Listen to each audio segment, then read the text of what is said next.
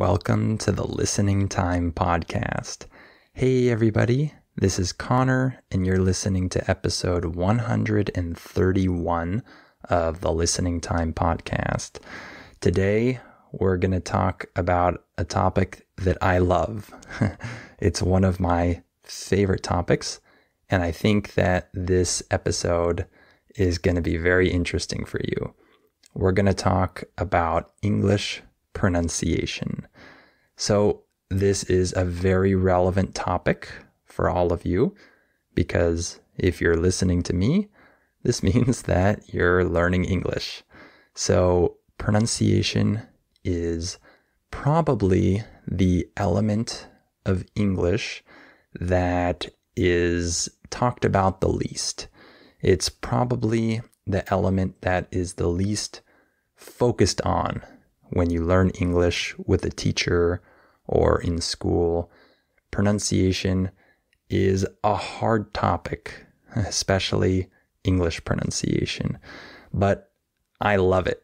It's one of my favorite aspects uh, of teaching English, as you can probably tell by now, especially if you've joined my membership, because uh, you've seen that I uh, do a lot of training and practice with the sounds of English.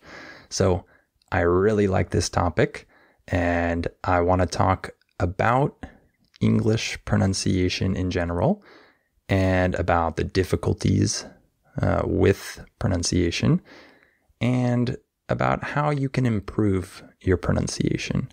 So, this should be a great topic for today. Before we start, Remember to join my US Conversations podcast if you want to start practicing with real conversations between me and other Americans. This is what you need if you can already understand me pretty well and you need to reach that next level where you can understand any native speaker when they're talking to you or when they're talking to other people. So, if you want to join that, you can click on the link in the episode description below this episode. That's patreon.com slash US conversations. And don't forget to join my membership. And specifically, if you become a listening time super member or any of the higher tiers, then you'll get my pronunciation training. You'll get my pronunciation seminars where I actually train you and help you uh, with your pronunciation. So you can go down and click on the link in the description below to sign up for that if you're interested. That's patreon.com slash listening time. And of course, if you like this podcast, please give it a five star rating and write a review and share it with anyone else you know who's learning English.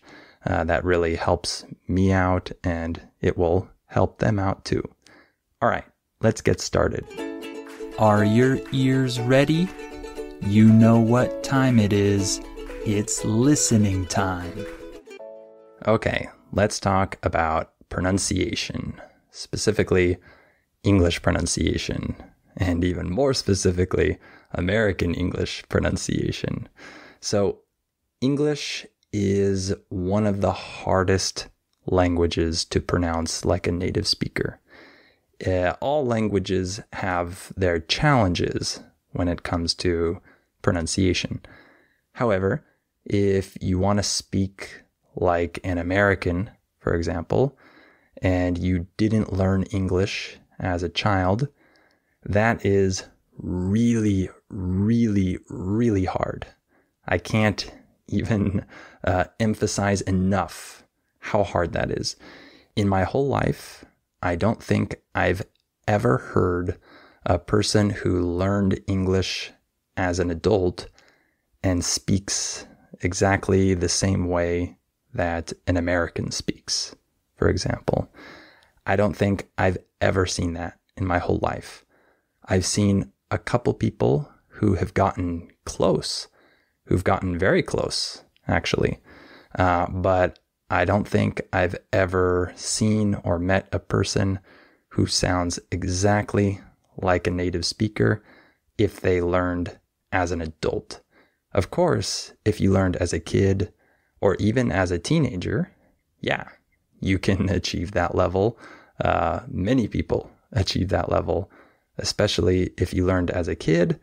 Well, you can just become a native speaker, of course. However, I'm talking to uh, you guys who most of you are adults and you're learning English as a foreign language.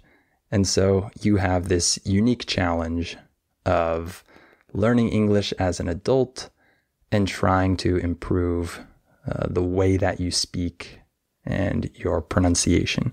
So that's the first thing that I wanted to mention is that it's really hard to sound like a native speaker if you're learning as an adult. So the first thing you need to do is lower your expectations. Okay. So why is English pronunciation so hard? Well, the main reason is because in English, stress is everything. Stress is king. Okay. English is what we call a stress timed language. Basically, what that means is that we have more or less the same amount of time between stressed syllables. So even if you have a word or a phrase where there is a stressed syllable and then three unstressed syllables and then another stressed syllable, that time between the stressed syllables would be pretty much the same uh, as if you had another word or another phrase where it's one stressed syllable, one unstressed syllable, and one stressed syllable. Let me give you an example.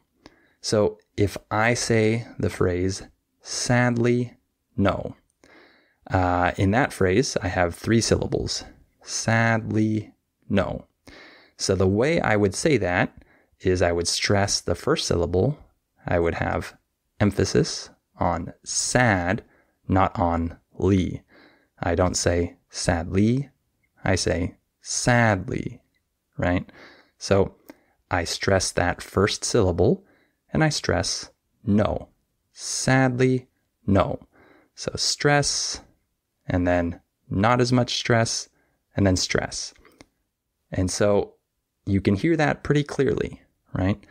However, if I say the phrase, unfortunately, no, now I have stress on for, unfortunately. But then all of the next three syllables after it are all syllables that don't have a lot of stress. And then the word no is stressed. So listen again. Unfortunately, no. So that amount of time between the for and the no is pretty much the same as the amount of time uh, in the phrase sadly no. That lee in the word sad has pretty much the same amount of time uh, that we use to say it as the last three syllables of unfortunately.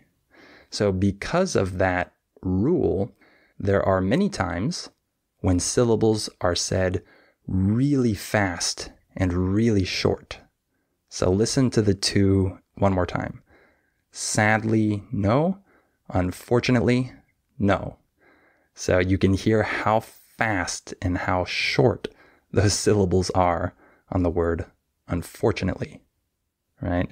So, that's an example of what a stress timed language is. So, the opposite of a stress timed language would be a syllable timed language. So, if you speak Spanish, for example, you speak a syllable timed language. So, each syllable has mm, a pretty similar amount of time that it takes to pronounce that syllable you don't have these big differences in the length of syllables. In English, an unstressed syllable might be one third or sometimes one fourth the length of a stressed syllable. That's a huge difference. However, in a syllable timed language like Spanish, you don't have that difference, right? Stressed syllables and unstressed syllables don't have a big difference in how long it takes to say them. So that's why if you're a Spanish speaker, for example, and you are trying to uh, speak English like a native, it can be very hard to replicate this stress timing because you're not accustomed to reducing and shortening all of these unstressed syllables. That's not something that you do in Spanish. So that's uh, the difference between a stress timed and a syllable timed language. And so in a stress timed language, when a syllable is not stressed, it can often become reduced. So, for example, the word FOR is usually not stressed in English. So we don't pronounce that as for. We say for, right? I say, for example. I don't say, for example. You hear that? There's a difference. So that's an example of how an unstressed syllable or word becomes reduced. And that happens all the time in English. That happens in virtually every sentence that we say. These words or syllables that aren't stressed can often become reduced. Their pronunciation changes because the vowel is shortened. Okay? So that's uh, stress in summary, in a nutshell. Okay?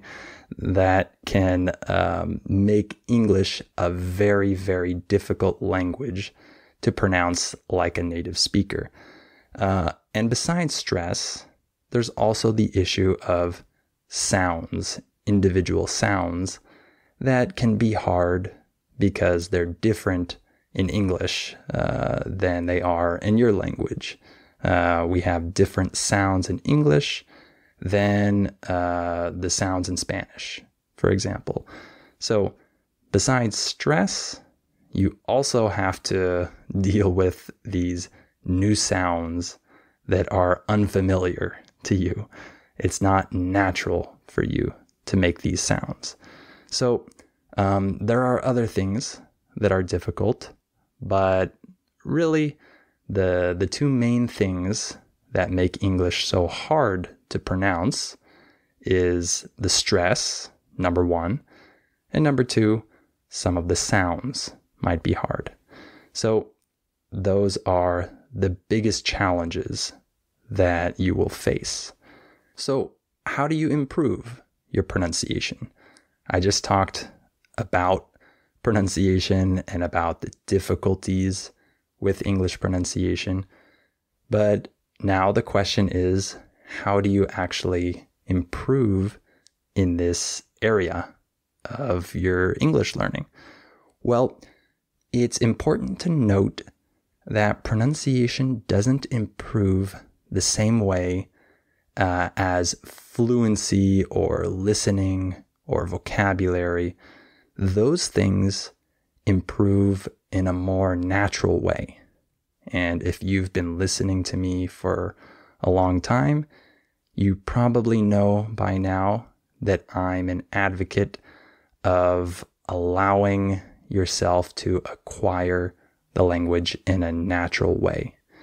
By the way, when we say that you're an advocate of something, we're saying that you support some idea or something. So I'm an advocate of allowing yourself to acquire the language naturally, mainly through listening, but also reading.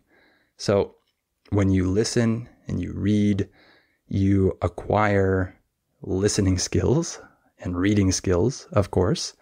You acquire vocabulary and you even acquire fluency because you have full phrases and collocations in your brain that you can reproduce once you've heard them enough. Okay? So those things improve naturally. However, pronunciation doesn't improve as naturally as these other elements. Okay? So pronunciation requires a more concentrated effort in order to improve it. Listening will improve your pronunciation. That's for sure. If you listen a lot and if you listen very intently, that will help you improve your pronunciation, no doubt. However, beyond that, if you want to actually have a, a, big improvement in your pronunciation and improve it faster, then the key uh, to this is that you need to notice your mistakes. You need to notice the real sounds of English. You need to notice how native speakers say something versus how you are expecting them to say it. And once you begin to notice these things, you start to shift your understanding and your expectation of what things are supposed to sound like. Okay? By the way, the word shift just means that you change. Okay? So when you start to notice these things, then your whole perception of sounds and uh, this whole element of English will change. You'll start to be able to identify the difference between how you say something and how a native speaker says something. Okay? So, um, noticing is key. And how do you notice? Well, this is also something that doesn't uh, come naturally most of the time. It does to an extent, but it's something that uh, comes more with uh, practice and training, actually. So, for example, my English pronunciation seminars and my listening practice seminars are a great way to start to notice things because I focus the whole seminar on showing you different patterns that you need to notice. And I help you change your perception of what things are supposed to sound like. So, for example, my seminars could be a great way for you to start to notice these things. And you get those if you join my membership, of course. And just being with a teacher and working with a teacher who is trained to help you with your pronunciation is another way to start to notice these things. A teacher can point these things out to you and help you notice them. By the way, when we say that you point something out, we're saying that you uh, indicate or identify it so that the other person notices it. So, a teacher can help you do that. My seminars can help you do that. And then once you've been trained a little bit, then you can start to do this on your own. And you can start to uh, notice more things by yourself. You won't notice everything, but you'll start to notice more. So uh, it's good to get this type of training to start noticing on your own. And when it comes to noticing and focusing on mistakes, I want to point out that there are two categories of pronunciation mistakes. So there are mistakes that are easily noticeable and fixable, and then there are mistakes that aren't. So let me explain this. So, a lot of mistakes can be categorized as mistakes that you can easily notice and fix if someone points them out to you. You probably won't notice them on your own, but a teacher or my seminar, for example, might point it out and then you can fix it. So, for example, uh, things uh, that are related to stress are actually pretty fixable. For example, within one word, you might be stressing the wrong syllable. For example, the country Japan. In this word, the second syllable is stressed. Japan. However, many English learners stress the wrong syllable. They say Japan, and that's wrong. But it's very easy to notice if a teacher points that out to you, and it's very easy to fix. You just stress the other syllable. Instead of Japan, you say Japan, right? It's not hard. So that's an example. Um, and stress within a sentence. For example, instead of saying, uh, I want it, what we would say is, I want it in most cases. So instead of stressing the I, we would stress the want. I want it, not I want it, right? If someone points that out to you, that you're stressing the wrong word, it's pretty easy to notice that and then to say it correctly. That doesn't mean that you'll say it correctly next time, but in this moment, you can say it correctly and start to register that in your brain. You can register that error there and maybe notice it a little bit more in the future. Also, uh, with um, skipped syllables, for example, in the word family, the I is silent. We don't say family, we say family. That's something that a teacher can point out to you, and it's pretty easy to fix. Just don't say the middle syllable. It's just family. Like it's not several, it's several. You just skip the syllable. So if someone points that out to you, it's pretty easy to fix. Also, certain letter combinations, like the TU, can be pronounced chew sometimes, like situation. And DU can be with a J sound, like graduate. Okay. Uh, or sometimes you're just saying the wrong vowel. Instead of uh, saying priority, maybe you say priority. And you just need to change the pre to pri. Or maybe you say notice uh, but the correct pronunciation is notice. You just need to change the ah to an o. Notice, right? Uh, so those are examples of fixable errors that are very easy to identify uh, if you're a trained teacher uh, who can actually teach pronunciation, of course. So in my seminars, for example, uh, I point these things out or other teachers who teach pronunciation can easily identify this and uh, you can fix it, right? However, there are other pronunciation mistakes that are much harder to identify and fix. And these have to do with your accent. So, your accent uh, refers to um, the way that you pronounce English sounds um, based on the sounds in your own language. So, for example, there are certain vowel sounds in English that you don't have in Spanish, for example. So, like in the different vowels in the words hit and heat, that might be hard for you to even hear the difference, right?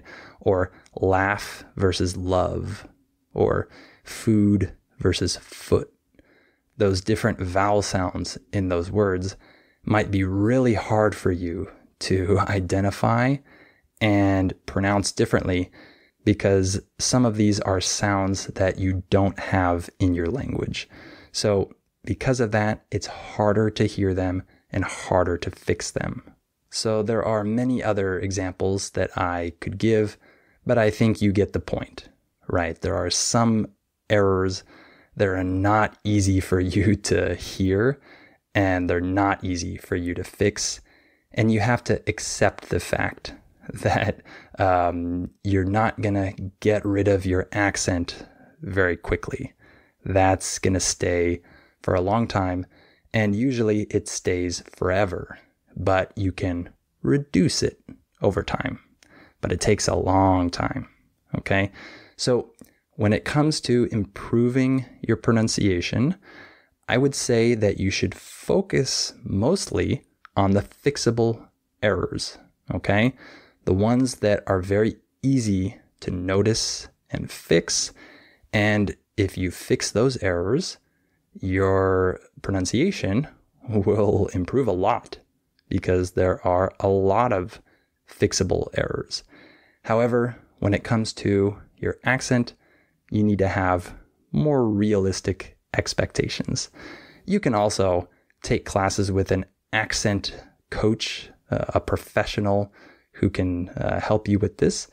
But um, this is a very specialized field, of course. So that's pretty much what I wanted to talk about today. Uh, I hope this gave you a good idea of uh, why pronunciation is difficult in English and how you can improve it. Uh, and of course, remember to sign up for my membership if you want my pronunciation training. Specifically, if you become a super member or anything higher than that, then you get my pronunciation seminars. And even just with the listening practice seminars, this will also help you with your pronunciation. So if you want my training, make sure to sign up the link is in the description below this episode.